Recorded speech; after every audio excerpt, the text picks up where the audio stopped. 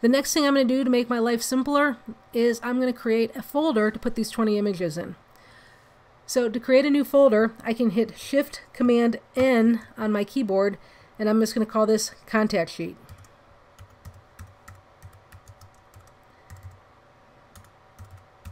Because that's what we're doing next.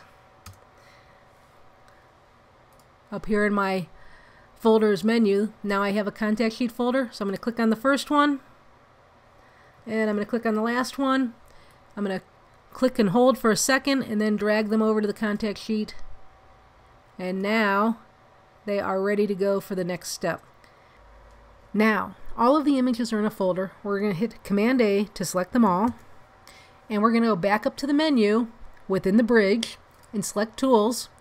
Go down to Photoshop and choose Contact Sheet 2. And a dialog will pop up. So right up top it says source image, 20 files. And down here we have some things we need to address. So I want my document units to be inches. And I want you to pick a width of 8 and a height of 10 and a resolution of 240. So 8 by 10 will give us a little bit of extra space on our contact sheet. We'll have a white border around it. A resolution of 240 is what we print to using an inkjet printer. So we want it to be RGB, we want it to be 8-bit, and we want it to be Adobe RGB 1998 for our color profile. Now this little guy right here says flatten all layers. So we're going to leave that checked on. But sometimes you might want to leave it off if you want to go back and change your file names. So flattening all layers means at the end we're going to have one small file. If we don't flatten all layers and we had 20 images, we'd have 20 image layers and 20 text layers. But those text layers are editable as are the image layers. So if you needed to move things around at a later date, you could do that if you did not flatten the images. So sometimes it's a good idea, sometimes it's not. For right now, let's flatten. Okay, thumbnails. Place across first. Well, that's what we do traditionally uh, from the past in the darkroom. What we would make in the darkroom, a way to view our negatives after we process the film. So we didn't make prints of everything. We didn't have a computer to look at things, so we made a contact sheet. The next thing we look at are columns and rows. So columns go up and down and rows go across. So we want four columns and five rows for our 20 images.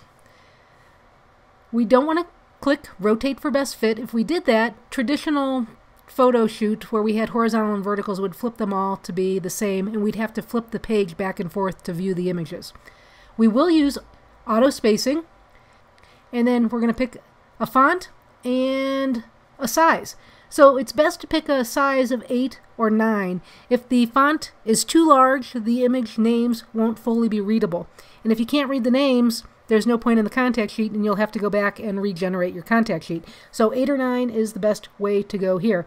Now we click OK and it's going to do its thing. It's going to create a page with all of our images. It takes a second. It's auto sizing everything in the background. Here it is. That looks awesome, you guys. This is what you want. You want to fill the page with your contact sheet. This is what you're going to turn in do not turn in the 20 individual images. Only turn in this one contact sheet. Now, when you guys are looking at it in the bridge, it might look funky. One or two of you are going to have this problem. It's been an ongoing issue for many, many years. So shoot me an email if things don't look right to you, which means if the colors are all the same.